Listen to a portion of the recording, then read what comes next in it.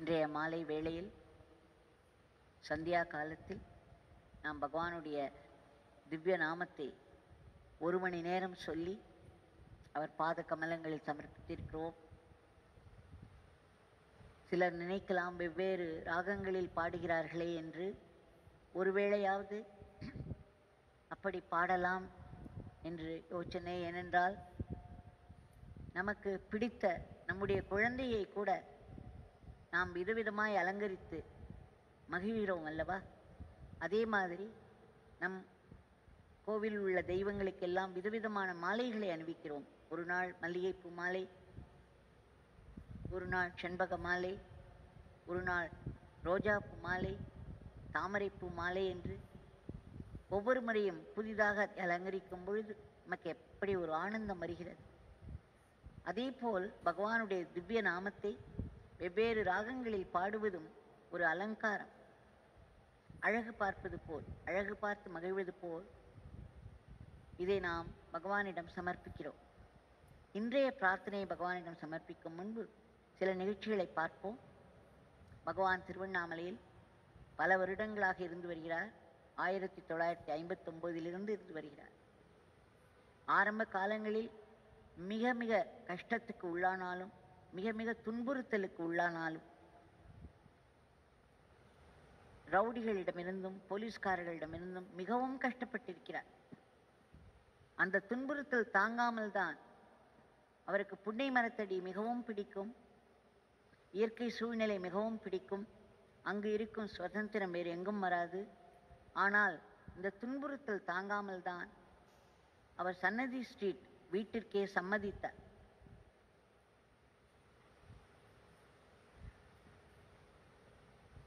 கோவிலை விட்டு சிறிது சிறிதாக அவரை கோவிலில் இருப்பவர்களுடைய தெய்வீகத்தை உணர்ந்தார்கள். சிவாச்சாரியார்கள் கூட அவரிடம் சென்று நமஸ்கரித்து ஆசீர்வாதம் வாங்கிச் சென்றார்கள்.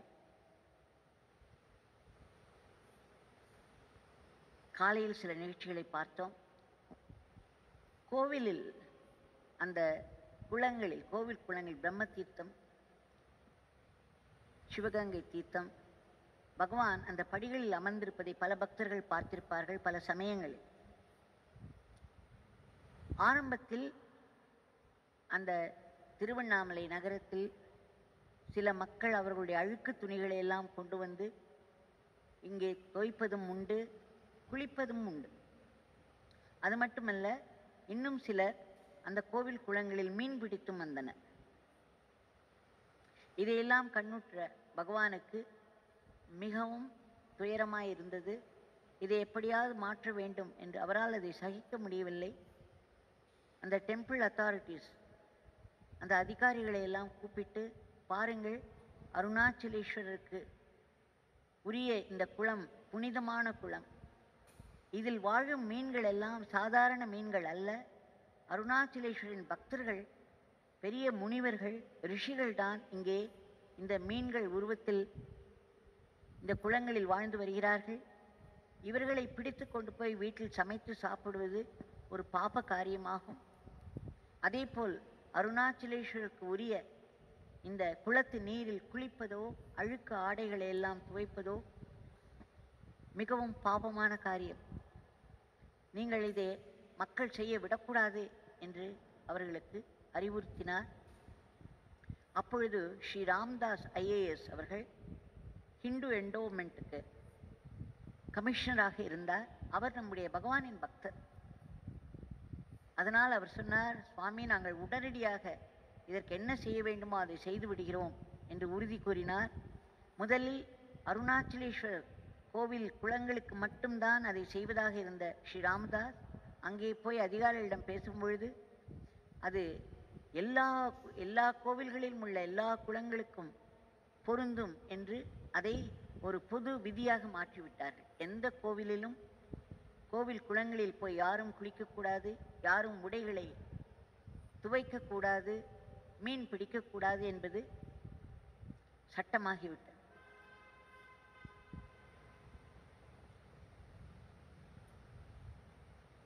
அதேபோல் பகவான் காலையிலேயே சொன்னேன் அந்த உற்சவம் தீப உற்சவம் ஆரம்பிக்கும் முன்னாடியே கோவிலில் சென்று அமர்ந்து அந்த கொடியேற்றம் அந்த ஃபங்க்ஷனை மிகவும் ஆசீர்வதிப்பார்கள். அதேபோல் தேரை முதலில் அவர் இழுத்த பிறகுதான் மற்றவர்கள் எல்லாம் இழுக்கவே விடுவார்கள். அப்படித்தான் இருந்து வந்தது.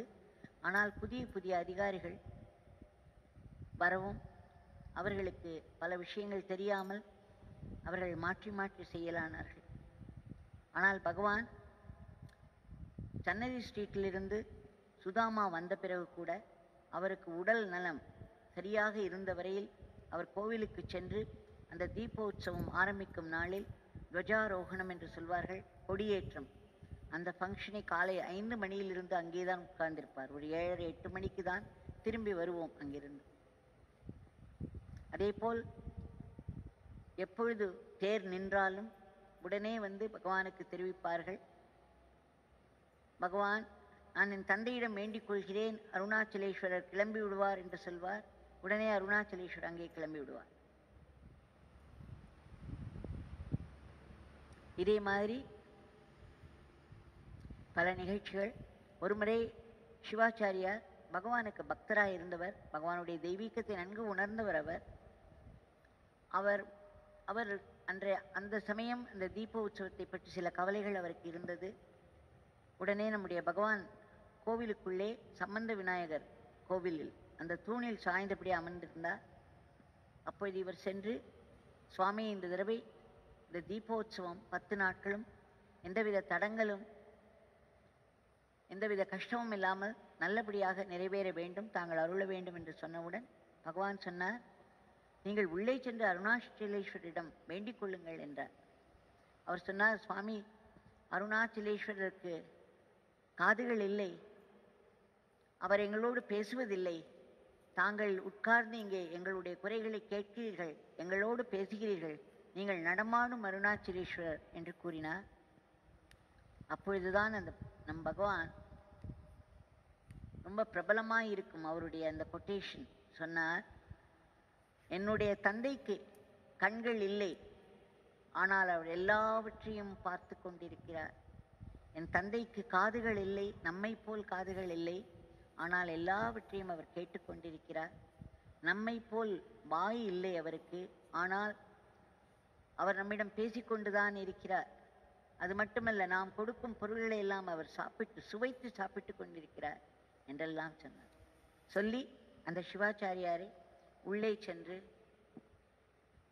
பிரார்த்தனை செய்யும்படி கூறவும் அவர் அப்படியே செய்தார். அதை ஏற்றுக்கொண்டு அதை அப்படியே செய்தார். ஒருமுறை இந்த Hindu endowment commissioner Shri Ramdas IAS ஒரு அவர்களுக்கு ஒரு சுவையான ஒரு நிகழ்ச்சி நேர்ந்தது பகவானிடம் ஒரு அனுபவம் நேர்ந்தது. அவர் எப்பொழுது திருவண்ணாமலைக்கு வந்தாலும் அருணாச்சலேஸ்வரர் கோவிலில் அவருக்கு சில கடமைகள் இருக்கும் அதை முடித்துவிட்டு அதற்கு முன்போ அல்லது பின்போ நம்முடைய பகவானை வந்து தரிசனம் செய்துவிட்டு போவது வழக்கம். ஒரு முறை அவர் வந்திருந்த சமயம் அருணாச்சலேஸ்வர் கோவிலில் அபிஷேகம் எல்லாம் முடித்து அவருக்கு ஒரு ஆப்பிள் அங்கே அருணாச்சலேஸ்வரர் பிரசாதமாய் கொடுத்திருந்தார்கள். மற்ற பிரசாதங்களோடு அன்றைக்கு பகவானுக்கு வாங்கி செல்ல வேண்டும் என்று அவர் எங்கு பார்த்தாலும் தேடினாலும் ஒரு பழம் கூட கிடைக்கவில்லை. உடனே அவர் நினைத்தார் அருணாச்சலேஸ்வருக்கு கொடுத்த இந்த பழத்தையே நாம் பகவானுக்கு கொண்டு போய் வைத்து விடுவோம் என்று. அதேபோல் அவர் சென்றவுடன் பகவான் அவரை உபசரித்தார் அவரை வரவேற்றார். இவர் அருணாச்சலேஸ்வரர் கோவிலில் கொடுத்த அந்த பழத்தை சுவாமி முன்னால் வைத்தார். வேறு ஒன்றும் சொல்லவில்லை. சுவாமி அதை கையில் எடுத்தார். ஸ்ரீ ராம்தாஸ் அவர்களை பார்த்து புன்சிரிப்பு செய்து இந்த பழத்தை ஏற்கனவே அருணாச்சலேஸ்வரர் சாப்பிட்டு விட்டாரே. இது அவருடைய உச்சிஷ்டம். தாங்கள் இதை பிரசாதமாய் உங்களுக்கு பிரசாதமாய் கிடைத்ததல்லவா? என்று கூறிவிட்டாராம். ஸ்ரீராம்தாஸ் அவர்கள் மிகவும் வியந்து போனார். நாம் இவரிடம் சொல்லக்கூட இல்லை.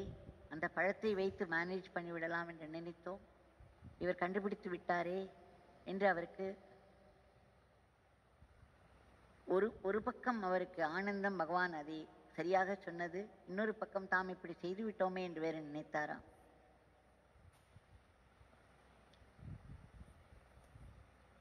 இப்படி பல சுவையான நிகழ்ச்சிகள் இன்னும் சொல்லிக்கொண்டே போகலாம். நமக்கு அந்த அளவுக்கு நேரம் இல்லாததினால் அந்த அருணாச்சலேஸ்வரர் பகவான் நாம் நம்முடைய பிரார்த்தனை சமர்ப்பிக்கும் நேரம் வந்துவிட்டது. அதற்கு முன்னால் இன்னும் ஒரு ஒரு சிறிய நிகழ்ச்சி தான். சுவாமி இந்த தீப உற்சவத்தின் போது இரண்டாவது நாளோ மூன்றாவது நாளோ நிறைய உண்டியல்கள் தயாரித்து வைப்பார்கள். அந்த உண்டியல்களை பின்னால் அந்த அருணாச்சலேஸ்வரர் மலை சுற்றும் பாதை இருக்கிறது அல்லவா? ஆங்காங்கே அந்த உண்டியலில் வைப்பார்கள். மக்கள் அதில் போடுவார் அதில் பணத்தை போடுவார்கள். அது அருணாச்சலேஸ்வரர் கோவிலுக்கு வருமானமாகும்.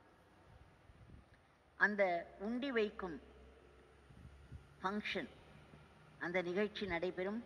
அப்பொழுது சுவாமி தான் நம் சுவாமி தான் முன்னே சென்று அங்கு வைத்திருக்கும் ஒவ்வொரு உண்டியும் தன் கையால் தொட்டு ஆசீர்வதித்து அதன் உள்ளே ஒரு ஒரு உண்டியலிலும் காசு போடுவார். அதன் பிறகுதான் அந்த உண்டியல்களுக்கு உண்டியல்களில் மற்றவர்கள் காசு போடுவார்கள். அதன் பிறகு அது அந்த திருவண்ணாமலை நகரத்தில் ஆங்காங்கே அது வைக்கப்படும். இப்படி